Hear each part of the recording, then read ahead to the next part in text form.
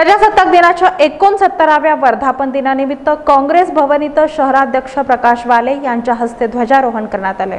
देशाचा सत्तरावा प्रजासत्ताक दिन सर्वत्र मोठ्या उत्साहात साजरा करण्यात आला. ठिकठिकाणी ध्वजारोहण करण्यात आलं तर देशभक्तीपर गीतांनी वातावरण भारावून गेलं होतं.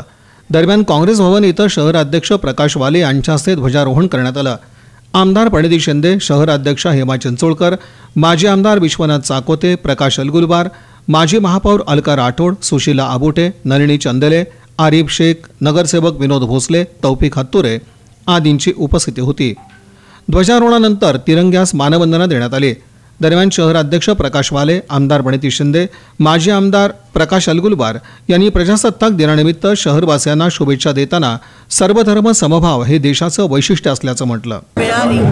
आणि इथून सिद्ध झालं की आपला देश हे सर्व धर्म समभावाच्या मार्गावर चालणारा देश तेव्हापासून.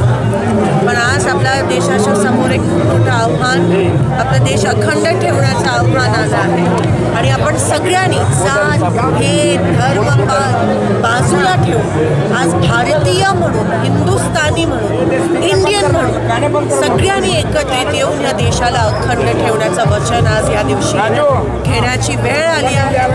ह्या वर्षी दोन महत्त्वाचे इलेक्शन्स आहेत. इलेक्शनमध्ये जे वोट असतं ते अत्यंत महत्त्वाची वेपन ज्याला म्हणतात ब्रह्मास्त्र.